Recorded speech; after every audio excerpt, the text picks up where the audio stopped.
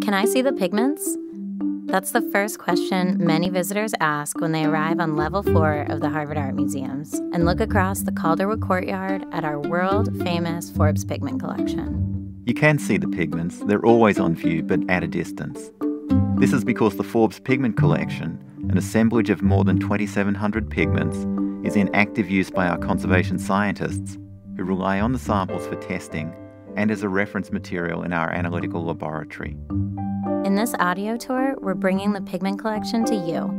We'll share the stories and the science behind some of history's most fascinating colors and let you know where to find them in works of art in our galleries.